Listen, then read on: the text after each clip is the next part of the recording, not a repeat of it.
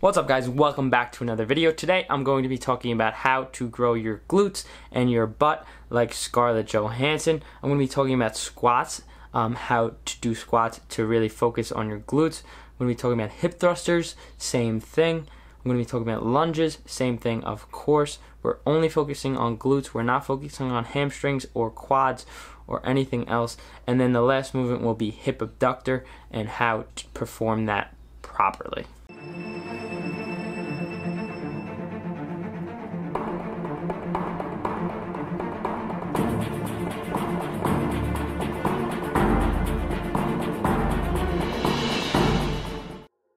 Alright guys, so first things first, we're going to start with this warm up to really get your butt activated and also to warm up your knees slightly because a lot of people do experience knee pains when squatting and doing leg workouts in general. So when you go down here, make sure you're just flexing your butt as hard as you can on the first one. On this one, you're just going to be flexing your quads as hard as you can.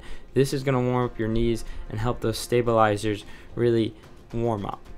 So we're doing two movements. We're doing little pulses of squats and we're doing little pulses of quad flexors, I like to call them. Um, so on the squats, make sure you're keeping your shin straight and bringing your butt back like you're sitting in a chair. Alright, so here's probably the most important uh, butt workout you could do. It's hip thrusters. This is the best isolation movement you could do for your glutes. So here you see me my at the top of the rep, your shins and your legs are going to be completely straight. Um, I'm also holding at the top for one to three seconds. I like to change it up. Sometimes I'll do three second holds for a set. Sometimes I'll do one second hold at the top for a set. See there, I was just doing three seconds to show you guys. Every time on the way down, I'm squeezing my butt and letting it down super slowly. And when I hit the ground, I'm not resting.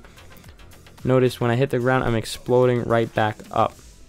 I also wanted to show you guys what it looks like when you add a band or a rubber mat to um, your waist to make it not hurt as much, which I definitely recommend because it felt so much better. I felt like I could do so much more reps, so many more reps when I added this because I wasn't in any discomfort um, in the hip area. So next up's obviously going to be squats. I was contemplating making this the number one movement, but I feel like it involves too much of your hamstrings. And if you do it, um, I guess the proper way, the the more common way of squatting, if you do it the more common way, it will actually work your quads more than your glutes or your hamstrings. So right here, as you guys can notice, like I mentioned earlier, keep your shins straight and squat back like you're sitting in a chair as you see me doing. And the whole time really focus on squeezing your butt. On all these movements you really have to focus on squeezing your butt or you're not going to get that activation. Alright, so next up is going to be lunges. Again, this isn't a great movement to isolate your glutes if you do it the normal way, but I'm going to give you some tips so always lunge forward, never backwards. Um, I feel like it definitely activates your glutes much better. Um, instead of lunging on your toes, lunge with your front foot, uh, pressure on your heel, and you'll really feel that activation in your front leg um, part of your glutes. Also, take really long lunges if you're working on your glutes. Um, if you're not working on your glutes, if you're going for quads, you could take some shorter lunges. Um, definitely, definitely recommend really digging that front heel into the ground and squeezing whichever leg is in the front, squeeze that butt cheek, I guess you could say, but squeeze that side on that rep.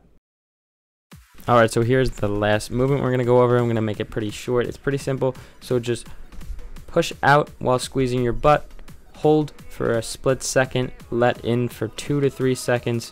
Um, the longer you let it in, and the more you squeeze your butt, the better of a workout you're going to get. And you should keep your back straight at all times and lean forward to get that extra activation.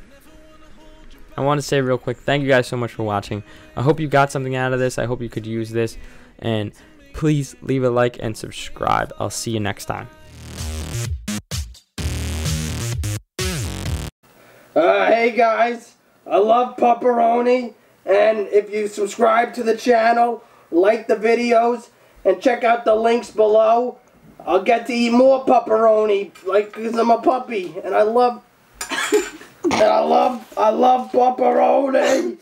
Please, please, get me more pepperoni. I just need it. Oh, yes. Pepperoni so good. Please subscribe and like